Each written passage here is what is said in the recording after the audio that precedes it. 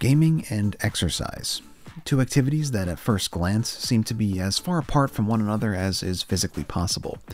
But if we go a bit deeper into the history between the two, we see that gaming and exercise have been trying to coexist for almost as long as gaming has been around. And this oftentimes comes in the form of an exercise based peripheral, or at least a peripheral that could be used for exercise in addition to gaming.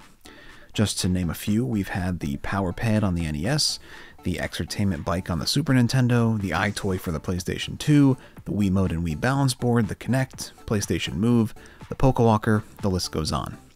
But the main problem that pretty much all these exercise gaming hybrids have faced in the past, at least when it comes to working out, is that they usually lean too far to the side of gaming rather than exercise. For example, I know that for me, when I got the Wii Balance Board and Wii Fit back in 2008, I had the idea in my head that it would provide me with a good workout made fun by the fact that it was a Nintendo game, but what I actually got was a fun game that just so happened to involve moving around a little bit. It wasn't really the workout that I and many other Nintendo fans were looking for, and that was a bit of a disappointment. However, Nintendo would learn from this feedback and return over 11 years later with a new exercise peripheral, this time one that could actually make you sweat. The Ring-Con, which released alongside the game Ring Fit Adventure in October of 2019, is a peripheral for the Nintendo Switch that shares its shape and general functionality with a resistance ring. Also known as a Pilates ring, a resistance ring is an exercise tool often used in the Pilates style of workout that, as the name suggests, provides the user with resistance based exercises focused mostly on building muscle. Pilates rings have been around for many years now and are a proven and simple way for anyone to get a good workout with minimal equipment costs, so it makes sense that Nintendo would adapt the concept into a peripheral for one of their consoles. And in this video, we're going to look at the development of the Ring-Con, how it functions both on an in-game and a technical level, as well as some ways the Ring-Con could be used in other Nintendo games. So without further ado, let's just dive right in. As is the case with all the peripheral videos I do, I'd like to start with the development of this weird Nintendo peripheral. And the first thing we need to look at here is who was in charge of the development of the Ring-Con. And as this is a peripheral that came bundled with and works exclusively on a single game, I figured it would be a good idea to check the credits of Ring Fit Adventure for any clues as to who developed the Ring-Con. And lo and behold, there's a section in Ring Fit Adventure's credits labeled Ring-Con and the Legstrap Development Team. That's exactly what we were looking for. In this section of the credits, there are six names of people who worked on either the Ring-Con or the Ring Fit leg strap or both. There's no way to know who worked on what, so I'll just list off all the names just in case. We have Zenri Yuko, Ikeda Tomofumi, Ogasawara Yoshiyasu, Tamura Yoshitaka, Niwa Masato, and Taniguchi Yuki. Those are all in the Japanese name order, so reverse them if you want to know their names in the Western style. Now, it's all fine and good that we have the names of the people that developed the Ring-Con, but that doesn't really tell us anything about the actual development of the peripheral. For that, we're going to have to go a bit deeper. As usual, I started out by poking around on the English internet to see if there were any easily accessible resources that talked about the development of the Ring-Con, but as you might expect, I didn't have much luck. So once again, it was off to the Japanese side of the web for me. And with a single Google search of Ring-Con development in Japanese, I found what turned out to be the ultimate resource when it comes to Ring-Con and Ring Fit development. That resource is an interview conducted by Nintendo themselves and posted on the official Nintendo Japanese website on September 4th, 2020. It's titled Asking the Development Staff Ring Fit Adventure, and it goes into excruciating detail about almost everything there is to know about the development of Ring Fit Adventure. As far as I know, this article has never been translated into English, which I personally found really surprising. It's a super interesting read and gives you the same level of insight into the development process at Nintendo as the Iwata Asks interviews did back in the day. Honestly, after reading the interview, I found myself wishing they'd do stuff like this more often going forward, so the fans can get a peek behind the curtain of some more big Nintendo titles, but I guess that's neither here nor there. Let's focus up and talk about what I learned about the Ring-Con's development from this article. Well, for starters, the development of Ring Fit Adventure actually went on for about a year from 2015 to 2016 without the Ring-Con concept. Here's a quote from the producer of the game Kawamoto Koichi and the director Matsunaga Koshi. Kawamoto said, I gathered up about three staff members and we began slowly making prototypes around 2015. A little while later, Matsunaga chimes in to say, Initially, it was a game that you'd control just with the Joy-Con. Kawamoto then picks up from here and explains in detail about how this worked. He said, The Joy-Con were very useful in controls based on moving your body.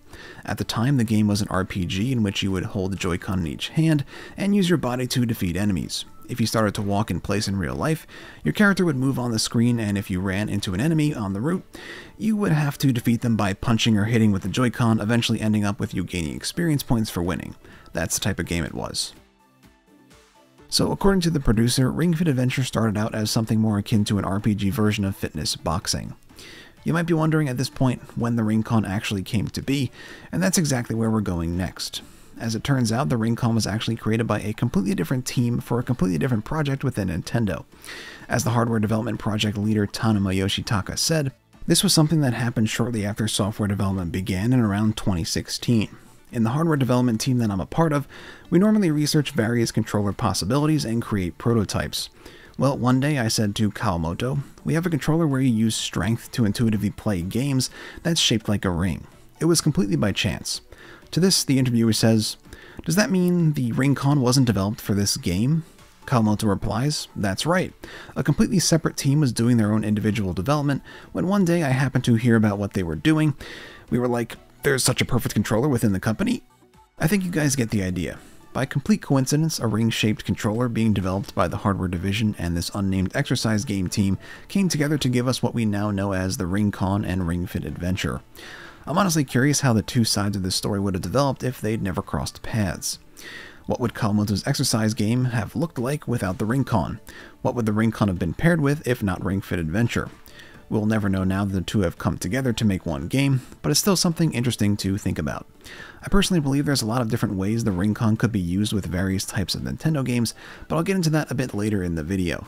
I know it's a bit late for this now, but next let's talk about how the Ring-Con actually functions when you're playing Ring Fit Adventure.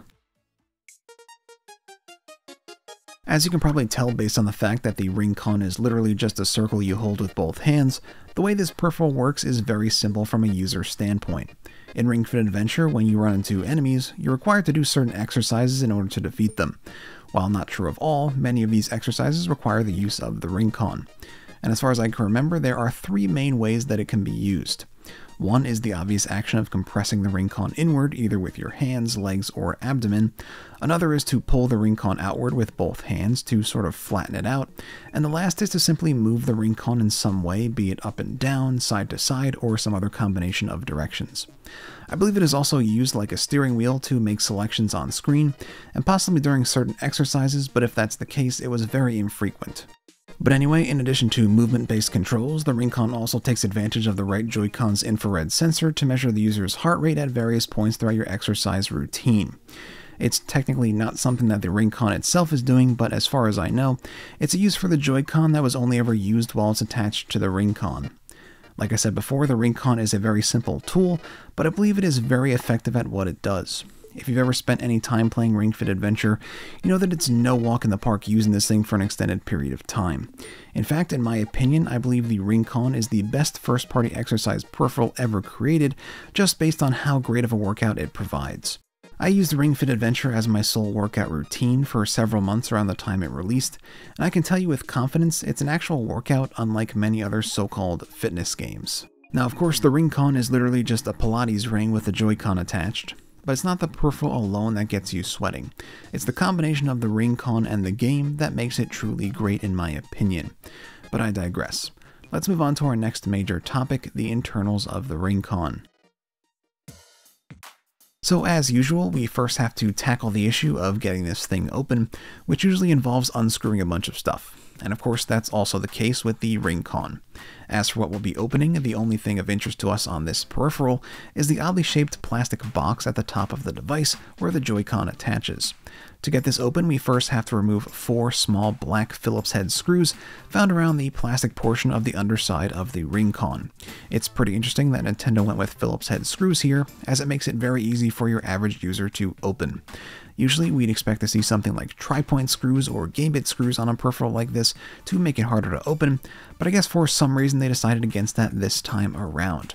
There are also four Phillips head screws found in the metal Joy-Con rail, but you can just ignore those if you don't care about doing a full teardown. From here you can just pop the top half of this plastic unit off, and voila, there's our board.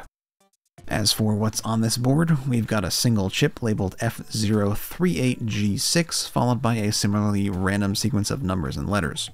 As you might expect, there is basically zero information about this chip online, but we can still infer as to its purpose.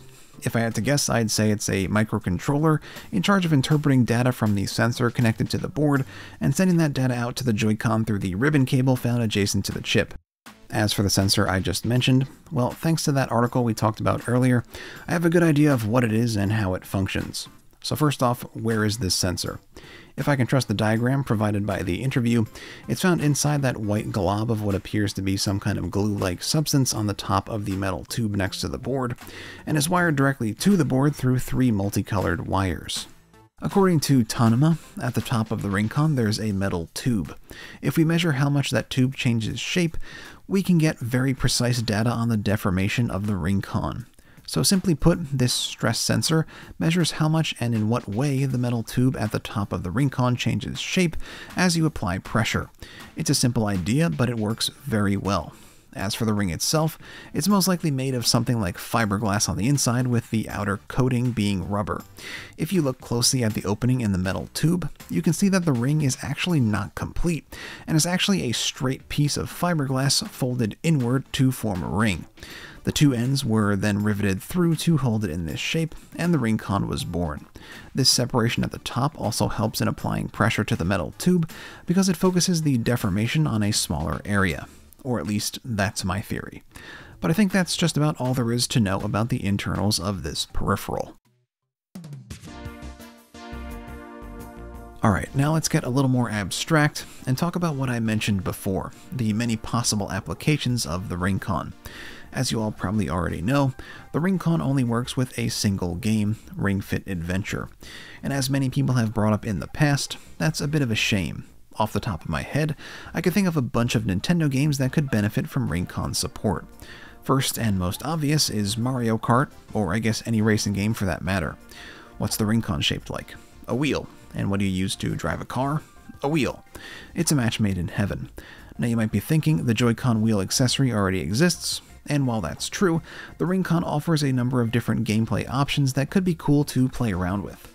For one thing, you can use compression to accelerate, fire items, or even drift, which I think would be super neat and provide us with another fun way to get some exercise. They could also make pulling the Ring-Con do something like brake, perform tricks, or honk the horn. I know it wouldn't be as precise as just driving with a controller, but that doesn't mean it wouldn't be fun every now and again. Also, I just thought of this, but Monkey Ball could work really well with the Ring-Con. It would be like you were actually holding the stage and moving it around to roll your monkey around. I guess you could probably do that already though if you just play with tilt controls and stick your Joy-Con into the Ring-Con, but once again they could add some Ring-Con specific gameplay options like motion controls tailored to the use of the Ring-Con, or jumping when you compress the ring. It's just something off the top of my head, but I think it could be cool. I could probably come up with a bunch more, but for the sake of time, I'll just add one more. WarioWare. Ring-Con specific microgames would be so cool. Just imagine the wacky things the developers could come up with if they could use the Ring-Con's various control options. Now, it probably wouldn't work very well with the character based gameplay of Get It Together, but a WarioWare exercise game based on the Ring-Con could be a ton of fun. But anyway, those are my ideas for potential Ring-Con support in other Nintendo games. I'd love to hear what you guys would want Nintendo to do with the Ring-Con as well, so feel free to leave a comment below with your ideas. At its core, the Ring-Con is an extremely simple peripheral that is essentially just another exercise device that already exists. However, that doesn't mean it doesn't do its job and do it well. In fact, in my opinion, I firmly believe this is the best exercise peripheral that Nintendo or any other first party developer has ever put out. Even though they may have started out as separate projects, the Ring-Con and Ring Fit Adventure, when used in tandem, provide an excellent workout that will more likely than not have you seeing some results rather quickly. And while it does currently only function with a single game, I do believe the Ring-Con has the potential to be used with a number of other Nintendo games in many interesting ways. If Nintendo will actually do that is yet to be seen, but we can always hope. I really want to see that WarioWare fitness game. Maybe someday. But anyway, thanks so much for watching this installment of Nintendo and Weird Peripherals. I figured with Thanksgiving coming up, you guys might need a way to burn off some calories, so I went with the Ring-Con this time around. Hopefully you guys enjoyed the ride. If you did happen to enjoy today's video, consider giving it a like. It's always greatly appreciated and helps me out a ton. And if you want to see more content like this in the future, consider subscribing as well. Thanks again for watching, everybody, and I'll see you in the next one. Ack out. Well, I just realized I'm going to have to do a ton of exercise to get enough B-roll for this video. the things I do for you guys.